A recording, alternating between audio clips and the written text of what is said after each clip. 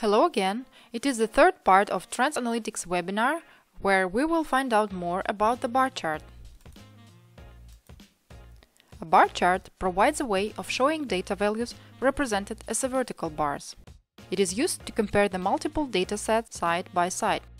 The free configurable sections are used to build a bar graph in Trendz.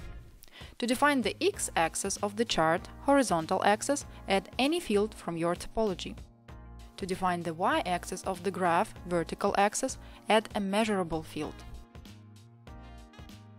You can add several telemetry fields with required aggregation type. Use the series section to split the telemetry data by categories.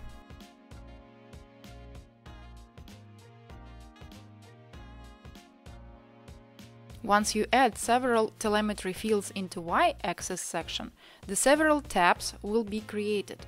To switch between tabs, use the option buttons.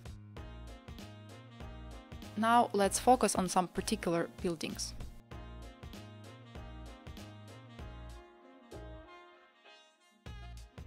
By default, the bar chart is vertical. In some cases, it is more representative to show data using the horizontal layout.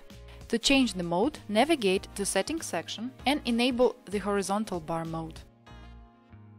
Select Show Labels to compare the values easily. When the bar chart comprises of multiple time series or series of fields, each set is shown independently.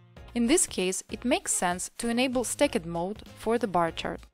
A 100% stacked bar chart is chart type designed to show the relative percentage of multiple data series in stacked bars, where total of each stacked bar always equals 100%. In this mode, labels will be shown as a percentage. You can control stacked options in the Settings section. Trendz Analytics allow to group data by different aggregation types of the telemetry values. In this example, we will analyze the machines that produce different products. Machines submits multiple telemetries that contains info how many products had been produced, amount, what types of product had been produced, product category, and how many resources has been used. Here we want to analyze how many products have been produced totally and divide them into categories. To do that, we need to group telemetry by product value, and then apply different types of aggregation. Add machine field into x-axis section to see a breakdown for each machine. We will use unique aggregation type for the product field in series section. And define aggregation type count for the product field in the y section.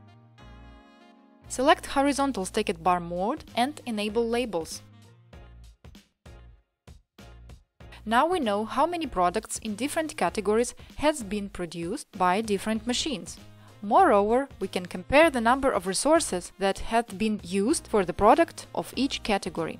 We will continue exploring different types of visualizations. Stay tuned!